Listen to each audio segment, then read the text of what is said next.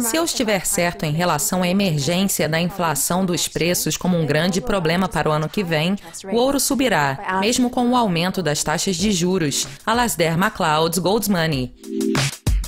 Há temores de que esta alta do ouro seja temporária. No momento, os preços estão em torno do nível 1190, após a commodity ter atingido mínimas de nove meses na semana passada.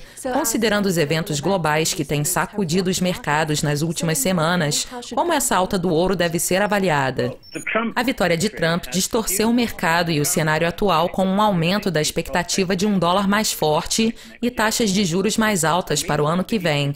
Enquanto isso, o BCE e o Banco do Japão continuam com taxas negativas. Portanto, a vitória de Trump estimulou o dólar, o que é um fator negativo para o ouro no curto prazo. Isso explica o motivo pelo qual o ouro caiu, mas eu acredito que esse fator será superado e, eventualmente, o ouro ficará sujeito aos próximos eventos. Considerando as recentes notícias de que o Fed vai aumentar as taxas de juros em dezembro e a especulação do mercado de que o Banco Central vai continuar aumentando as taxas para combater combater a inflação em 2017, quais serão as implicações para os preços do ouro?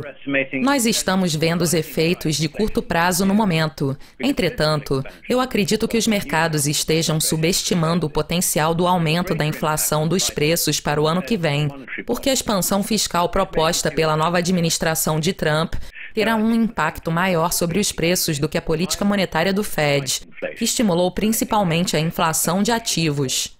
Portanto, eu acredito que o mais importante a se monitorar será uma inflação de preços mais alta do que o esperado, e isso favorecerá o ouro. Com a aproximação do final do ano, é válido notar que os preços do ouro ainda estão 11% mais altos em comparação com o início deste ano. Mas o que os investidores podem esperar dos preços do ouro em 2017? Se eu estiver certo em relação à emergência da inflação dos preços como um grande problema para o ano que vem, o ouro subirá mesmo com o aumento da taxa de juros. A única coisa que poderia impedir o ouro de subir seria uma alta das taxas de juros para um nível onde os investidores tentariam migrar dos bens e serviços de volta ao dólar. Nós já vimos isso acontecer no passado, mas seria necessário um forte pico nas taxas de juros. Essa seria a única ameaça para uma alta dos preços do ouro, mas eu não acredito que o Fed faria isso antes de esgotar todas as suas opções.